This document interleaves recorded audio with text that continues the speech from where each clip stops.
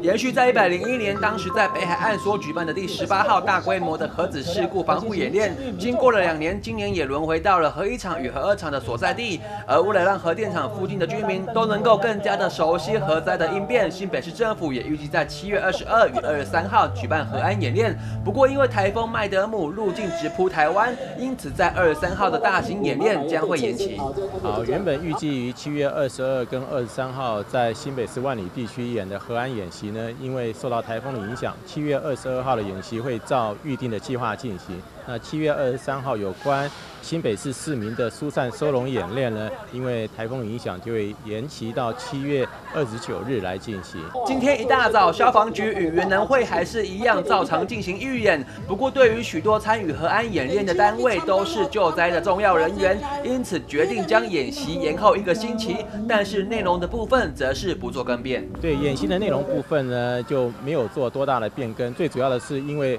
台风来时，很多参与演练的。人员呢，他是实际上的救灾人员，他必须针对台风做一些预防性的救灾的准备，所以演练的日期必须要加以延后。那实际上，在二十三号演习本来有一个上午八点二十分有一个核子事故警报发放的这个演练呢，也因为台风的关系，就会延后一周来发放。这次的大规模演练活动，总共动员了北海岸三十八个里，在核二厂、与核一厂以及慈护宫、石门洞等场地进行。不过，在二十二号的核二厂的内部自行演练，则不受台风影响举办。而园能会也希望民众能够确实的吸收和安的知识观念，以备不时之需。记者徐端义金三采访报道。